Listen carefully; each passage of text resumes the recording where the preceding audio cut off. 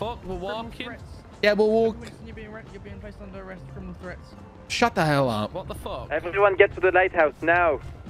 Threatening and. Uh, I'm threatening. I said stop following me, you Guys. weird fucking loser. Nobody Okay, likes you. You got no friends. Arrest. Why didn't you wait me? Why are you getting arrested? Because I told him stop following me, you stupid bastard. You're stupid. Oh, stop, you weird bastard.